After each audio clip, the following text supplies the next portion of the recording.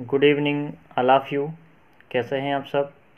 मैं रुद्रेश पांडे और आप सभी को इस पाँच दिवसीय पावन पर्व पर, दीपावली के महोत्सव पर आप सभी को हार्दिक बधाई, शुभकामनाएँ देता हूँ। साथ ही साथ, इस बार हमें एक नया मौका, एक नया अवसर मिला है।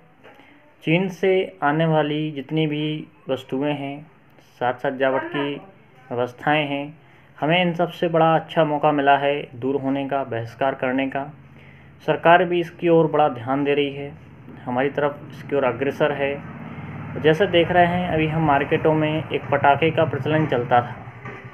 प्रत्येक वर्ष हम पटाखे फोड़ने का कार्यक्रम जो है लगाते थे फुलझड़ियाँ जलाते थे, लेकिन इस वर्ष इन सब पर बैन चल रहा है।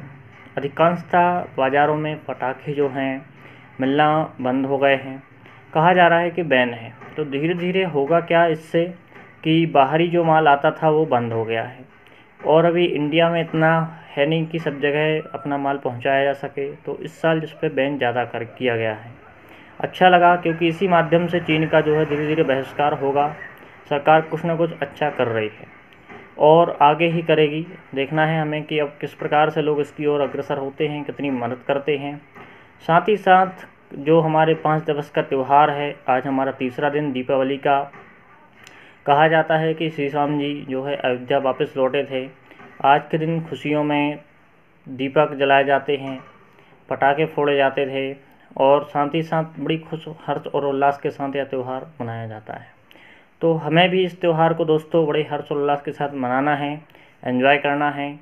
कल फिर छुट्टी है, गोवर्धन की पूजा होती है। परसों भाई बहन का एक पवित्र त्यौहार, जिसे भाई दूज कहा जाता है, मनाया जाता है। हमें इस त्यौहार को भी मनाना है और फिर नेक्स्ट डे अपना जो भी रूटीन वर्क होता है कंटिन्यू उसमें लगना है। तो आप सभी को शुभकामनाएँ देता हूँ, बधाई देता हूँ।